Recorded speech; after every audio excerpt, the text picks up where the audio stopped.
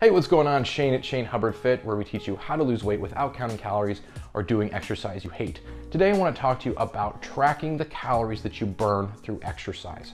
So I got a very good question from somebody on Instagram the other day that asked me, should they be tracking how many calories they burn through exercise?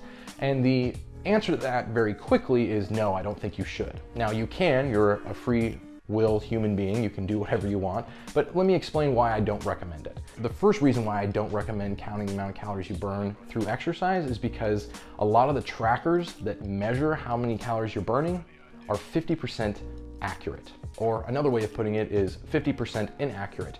So if you burn 300 calories, you could have burned 300 calories or you could have burned 150 calories according to your tracker, whatever that might be. So that can be very frustrating because that's way too wide a range to feel confident in the exact amount of calories that you're burning. I also think that for a lot of people that are really trying to diligently track, this can be very uh, difficult to do and it can drive you nuts and it can be confusing and you can become neurotic about it. So instead of tracking the individual calories per workout, what I recommend doing instead is tracking how often you finish a workout.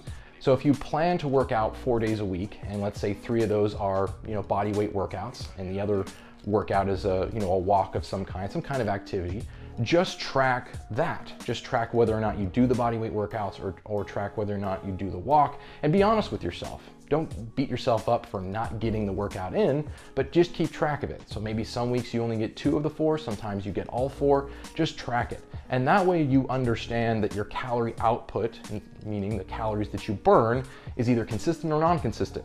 And if you track it and you're honest with yourself, you know how to make the adjustment to then start burning body fat again, okay? So I do not recommend tracking the amount of calories that you burn.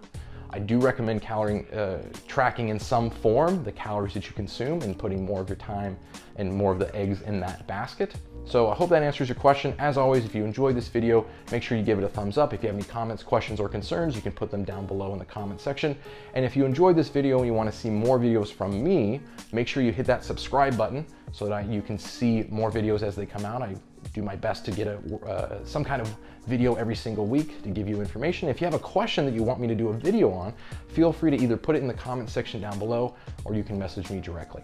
All right, thanks for watching today's video. I will see you in a future video.